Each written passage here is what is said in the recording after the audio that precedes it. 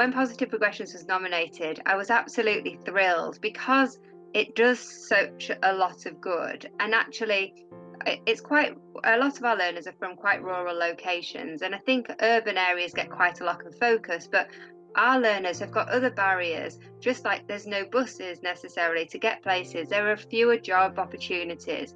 And so, straight away, they're already disadvantaged. Um, and I think it's great for a project such as this to to win the award because it, it puts it on the map.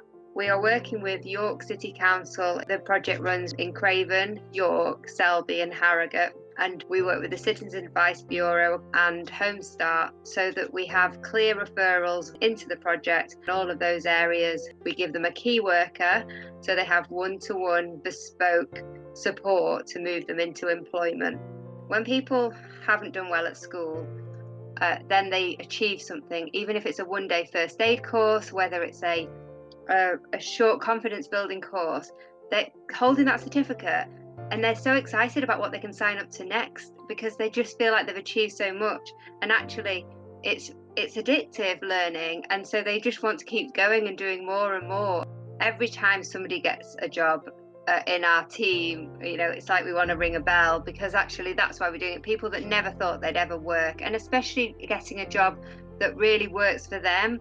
Um, so we had a, a participant who was hearing impaired and they they gained employment in a hotel and actually the key worker went with them supported them wrote everything down for them just put a real plan in place so that there was nothing that was scary there was nothing that wasn't right. And so i think to really break down those barriers for anyone uh, no matter what your you know what's going on in your life it, uh, it's it, it makes it worthwhile. You know i feel like we are changing lives. I mean 51% of our participants have gained employment and a lot of them have never worked or have been out of work for a very long time. We've done some research recently on like six months later after leaving the project, and all of them were either in the job or still in the course or uh, still engaged with what they're doing, or they'd got a better job and they'd reduced their benefits because they were now